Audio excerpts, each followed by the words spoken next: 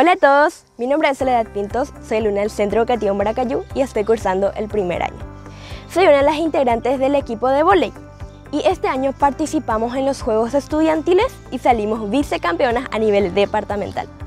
Este proyecto, el deporte como herramienta para el bienestar y desarrollo que estamos llevando a cabo, es gracias al apoyo de Soroptimis que ha sido una experiencia muy positiva para nuestro desarrollo personal y social, ya que el deporte nos ayuda a mantenernos saludables mental y físicamente.